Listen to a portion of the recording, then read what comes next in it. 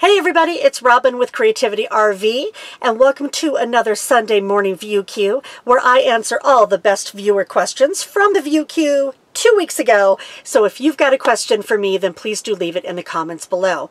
Before I get to today's questions, which are fantastic, I mean, I'm talking about salvaged RVs and top age to be on the road and batteries and all kinds of stuff.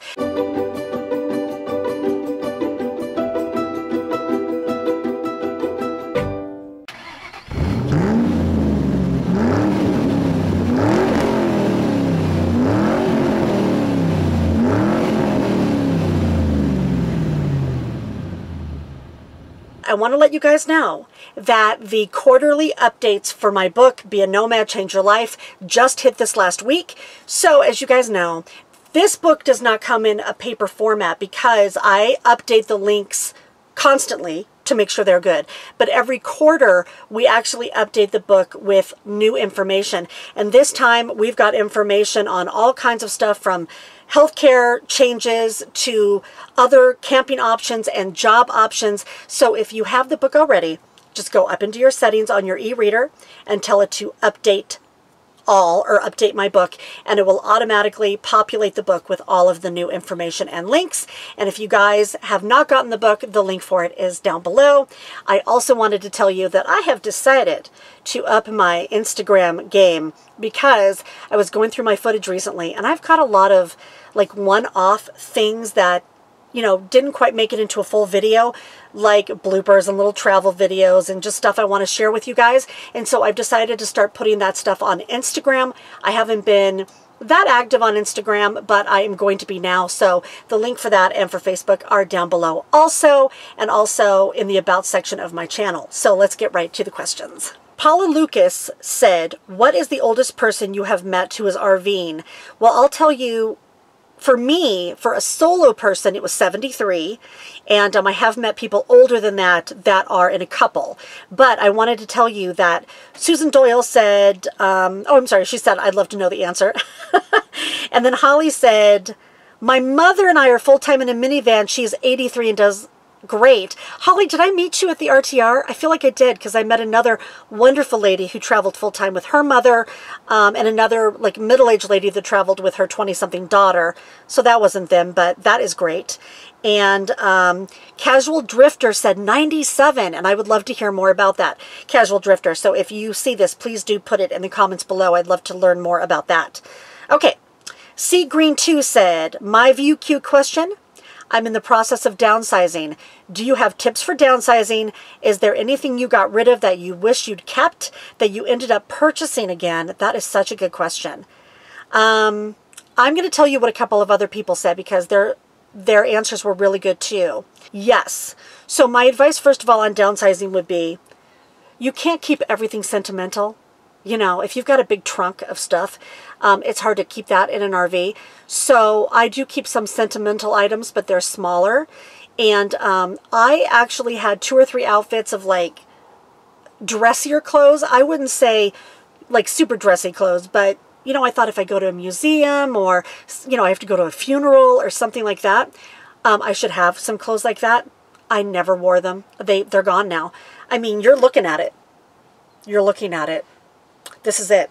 Um, I dress very casually. I haven't worn a pair of high heels in two years, and anybody that makes a comment about my short hair and what that means um, can pound sand.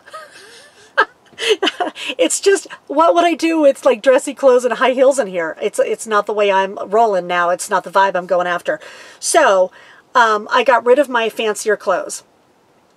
I absolutely had too many clothes. I have absolutely downsized my clothes at least three or four times. They go to Goodwill. I've also purged shoes. I mean, I had casual shoes like, you know, sandals and stuff like that. And then I realized I wear four pairs of shoes. I always wear four pairs of shoes. You got your, you got your hiking shoes. You got your, your slip-on, like comfy, um, like Skechers. Um, I have a pair of boots in case it gets wet and gross or I'm out at the campfire.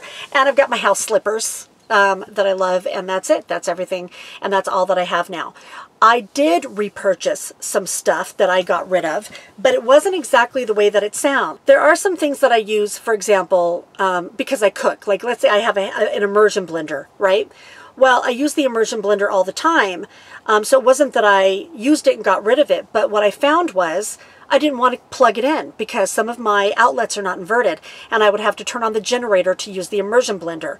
Um, I had some other things like that, like, um, you know, a razor or a toothbrush, stuff like that. Um, I ended up purchasing those items again as USB powered rechargeable items. If I could do it all again, um, I would make every small electronic device that I could USB powered. I'm going to do a video pretty soon on that and show you everything I found that's USB powered. Now for me, I don't have any 12 volt outlets, so I know some of you are going to say 12 volt is more efficient. A 12 volt looks like a cigarette you know, outlet, if you guys are familiar with it that way. I don't even have that in here. This RV and my last one didn't have that.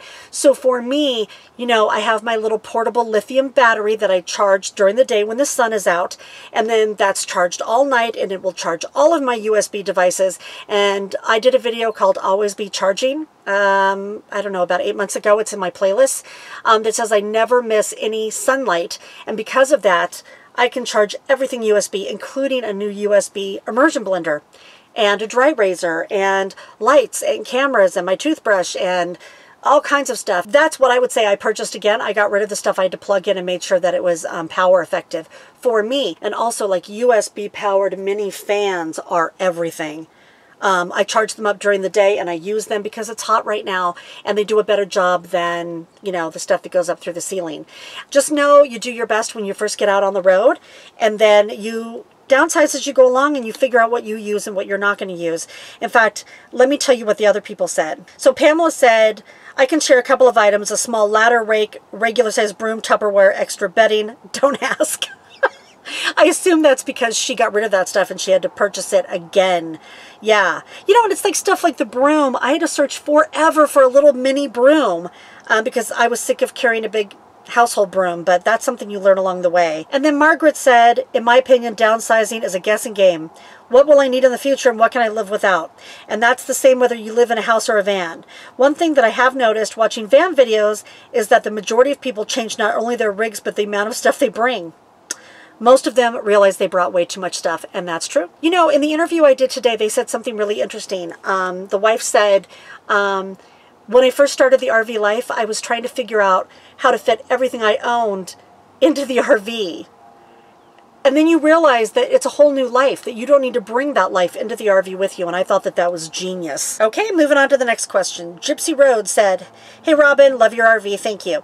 I was wondering how your occupant and cargo carrying capacity affects your ability to store all the things you need to live comfortably in your RV. So related to that last question.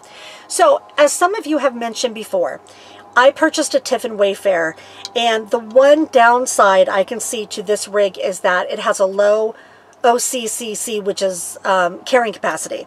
Um, so I'm going to do a video on this coming up because it's very confusing, you know, GVWR or GAWR, OCCC, which is all stuff you will see on the sticker when you open up an RV door. And basically it will tell you how much you can carry. Well, it varies on VIN number because they might change the components they have in this rig. For example, if I had stabilizing jacks, I probably could carry less because this rig would be heavier. Or, you know, a bigger fridge or something like that. So, for me, in this rig, I have just under a thousand pounds of stuff that I can carry. Which you would think would be enough for one person, but I added on solar, and I have an e-bike on the back, which I think I just count the hitch for that. Um, and I did find um, that I had trouble staying under the weight that they recommended. So for me, um, I purged. I purged more stuff and I had to get rid of it. And, um, you know, I have everything I need to live comfortably. I, you know what I found? I found that I was purchasing food like I was ready for the apocalypse. like, you know, you have to put things, you know, in the back of RV cabinets. So I'd have a can of chickpeas back there and I wouldn't know it was back there because it would be behind other things, maybe. Or I didn't check before I went to the grocery store. So I'd go to the grocery store and I'd buy another can of chickpeas. And the next time I went to the grocery store, I wouldn't remember and I'd buy another can. So recently I have redone that stuff and I'm really trying to just purchase what I eat and maybe a little emergency food. Barb Sanders said, but wait, you didn't tell us why your solar wasn't working. my solar wasn't working in my brand new rig. Um, oh, and there needs to be more Sundays in the week. Love your videos. Thank you. Okay, so some other people said, I second your comment, and Brianna said she said the screws in her solar are leaking. Okay, so look, you guys should expect a whole new video coming out on this topic because yes, I had the solar put in and they didn't seal it around the screws and that leaked, but then my entire solar system just pooped the bed, you guys. Um, you know, it was really rainy and I was traveling a lot and so my batteries were getting a charge. But then I thought, oh, I'm not really getting a charge because it's been so rainy until I got to my latest spot. And uh, don't you know it, a mobile repair guy saved the day again, which goes to the next question, which is from Donna Harrell, or Donna Harrell. How do you find a mobile mechanic on the road? I Google mobile RV mechanic near me. And you guys know from my past videos that three different times now a mobile RV mechanic has saved my hiney. And again, they're not warranty guys. So they're not just trying to swap out a part and get paid. And they don't have a dog in the fight between the dealership and the manufacturer. They get paid when they figure out what your problem is and they fix it. And I'll tell you, I found somebody great um, who had to get up on the roof and figure out what was wrong with my solar, but I'm going to tell you about that in an upcoming video so I can show you the parts and explain it and everything. So thanks for that question. Look out for that video coming up soon. If you guys haven't hit the little bell after you subscribe, do that because it'll tell you when there's new videos coming out so you don't miss that one. Okay, this is one I definitely wanted to respond to this week. So you guys know in the last View Q, um, once again, I recommended Harvest Hosts because you guys get a 15% off um, discount when you use the coupon code below that's at the top of comments. And um, there's a lot of confusion about if vans are allowed. And somebody asked about that last week. And so I showed you in their FAQ, it says camper vans are allowed. And Lita Salo, I'm, I'm probably saying that totally wrong, I apologize, said, Hi, I'm confused um, because she emailed them and she emailed them a thing that said very succinctly, Hi Harvest Host, I have a minivan. Um, she said, Are minivan conversions allowed if they have the required interior toilet and contained gray water? Thank you. And they said, We go more for RV type um, rigs. Um, and I talked to the owner of Harvest Hosts today, Joel, who's great. And you guys know that we've done a video, two videos together in the past. And this is what he said you have to write in or call in and tell them that you have a converted camper van. The word minivan, I think, is what maybe um, didn't fly because in minivans, they're not sure that you have the right interior components. And I know that you were very specific. These host locations are, you know, people's farms or wineries or museums, their businesses. And, um, you know, it's an uphill battle sometimes for them to get hosts that that want to allow us because of these stigmas that we talked about before. And so because I think they've had a problem with minivans before, that's where the hiccup is. So if you guys have a van, yes, Harvest Hosts will allow camper vans I would email them and say I have a camper van, tell them what your interior system is, and let them decide on a case by case basis. But for everybody else, you know, schoolies are allowed because they're always outfitted in the right way in their experience. And all other kinds of rigs are allowed, and you get to travel around. And, you know, I'm hitting a few harvest hosts this next week, and I'm super excited about it. Um, and I'm going to be taking you guys along on some of those videos, so look out for that. But they've also added golf courses, which I'm psyched about because after talking to Joel, um, he said the golf courses are very laid back and, you know, they're beautiful and you are in a huge parking lot and then they all go home and it's very chill and a good place to go. So I'm going to try that out for you guys. Okay, Lou's Traveler 2 said, I want to get a tire monitoring system. Me too, Lou. Um, and I am narrowing down the possibilities now. Do you have any ideas on them? Thanks always. I'm glad Big Boy stuck around a little bit. So I was really surprised that my Mercedes Sprinter on my Tiffin did not automatically have a tire monitoring system. My last one did, um, and so rookie move. I thought they both did because they were the same chassis. And um, I should have asked that because my tires recently were actually under pressure and um, out of balance. And I'm going to tell you guys about that more. It really affected my ride. Um, so I've been studying this and learning a lot. I did look at getting a tire monitoring system. And what I found was the tire monitoring system itself might be like 160 bucks. but the console that reads it can be a thousand and it just wasn't worth it to me so what i did is i got a little digital um, tire monitor that's made for rv so it goes ahead and works with the dualies there is a link to that in my amazon gear page so if you guys go below you'll see it in the section that says as seen recently on YouTube. I'll make sure it's there so you guys can see it. But it's battery driven and you just literally unscrew the little cap and you push it in and it will tell you what your tire pressure is. And I do this every time now before I travel. And I'll also tell you this. Les Schwab or Discount Tires will go ahead and read all your tire pressure and look and see if your tires are balanced for free. So, you know, if a tire monitoring system is cost prohibitive for you, I would recommend the little digital gauge or just, you know, stopping every once in a while at one of the tire shops and have them check for you. Cheryl says, Next View Q, do you get cabin fever and how do you deal with it? I fear getting claustrophobic when considering a long-term RV life. Okay, look, no, I've never gotten cabin fever except for two weeks ago when I was stuck in all that rain because if I went outside, like literally, it was like God was pouring a bucket on my head. Um, I lived in Seattle for five years and I loved it. Um, so that's me. I can go out in the rain, but that rain was so hard and so long that I was trapped inside a lot and I did get cabin fever. I usually talk to you guys inside because it's windy outside and um, I want you to be able to hear me without the wind noise. But I have these big windows and this breeze that's going across me right now that's going to the other side.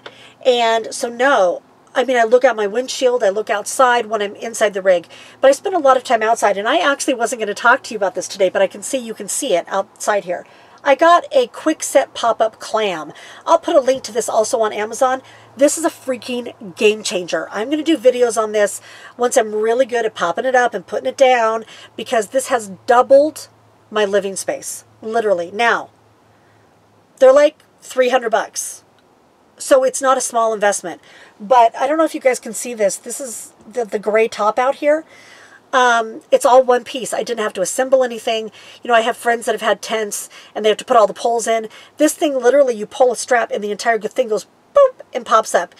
I also had to figure out that I had a place to store it and that I could handle the weight. But it's bug-free. I mean, well, not bug-free. There are still bugs, but I have little, like, bug killers in there and um, I can fit a big desk in there, two chairs, and a lounger that I have. And so I spend most of my time out there. And so no, I'm not getting cabin fever at all. I didn't before, but now thanks to the clam, um, I can spend time outside if it's raining or not. And how do I deal with it if I get cabin fever? Here's a dirty little secret. In the morning, usually to start my day, I have a kitchen dance party in the kitchen. I actually have a kitchen dance party mix on my phone and um, I blast it and um, I get my blood moving because sometimes, you know, it's not the claustrophobia so much as when you're trapped inside, you're, you're not getting your blood flowing, you're not getting as much exercise as, as you should. So I dance in the RV. Someday, you know, maybe I'll catch myself doing that on video and show you, but probably not. And now to the best question from last week's View Q, which was from Sweet Lavender again. Um, she said, I'm going to go down to it. Um, in my RV search, I've come across a damaged RV website, and then she has in parentheses, insurance company money recoup, but a lot of the RVs are damaged due to fire, water, or flooding. So I have a possible question for your next Q&A. What are the statistics for the top five or ten most common ways an RV is ruined, damaged, and our RV is a big fire hazard? This is what I want you guys to know because I have an insurance background. And I actually called a friend who's a claims manager um, and did some other research for this question. I may actually do a full video on it because I think it's so important. Yes, there are sites out there that sell salvaged RVs. It's just like a salvaged car. So, first of all, let me say this. An RV or a car is salvaged or totaled when the cost to repair it is more than what the car is worth, you know, on an actual cash value or depreciated value. Let's say that there's an RV and it has a little bit of damage and it costs more to repair it than it's worth. Then the, the insurance company will give the owner of the RV two options. They're going to let the owner keep it and they'll pay them off part of it and they'll let the owner keep it with a salvage title or the insurance company will pay them for it totally at the actual cash value and then resell it to like an auction house that will sell it off for parts or as a whole RV. And that's probably where these are coming from. I don't know what site you looked at.